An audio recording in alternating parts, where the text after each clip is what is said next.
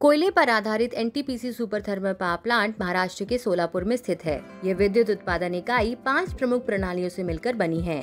ये है कोयला प्रणाली, जल प्रणाली, भाप एवं विद्युत उत्पादन प्रणाली, विद्युत वितरण प्रणाली और फ्लू गैस एवं राख प्रणाली।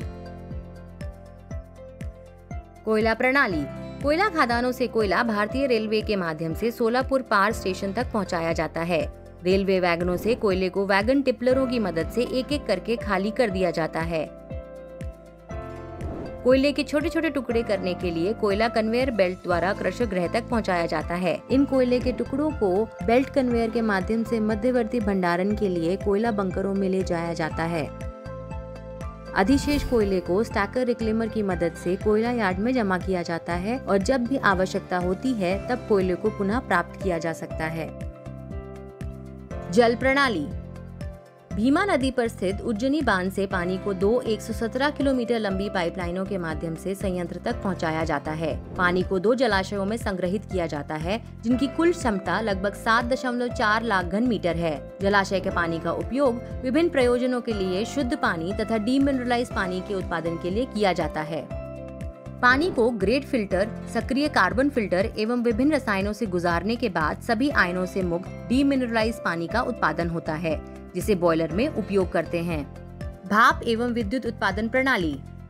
बंकरों से कोयले को कोयला मिल में बारीक चूर्ण बनाने के लिए भेजा जाता है।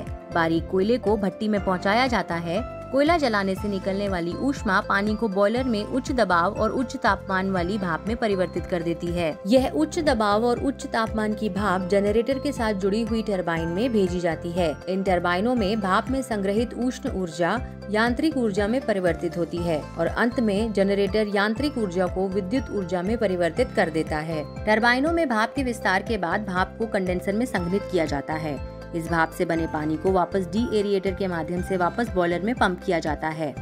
कंडेंसर से निकलने वाला गर्म ठंडा पानी कूलिंग टावरों में नालिकाओं द्वारा बूंदों के रूप में छिड़काव करके वापस ठंडा किया जाता है।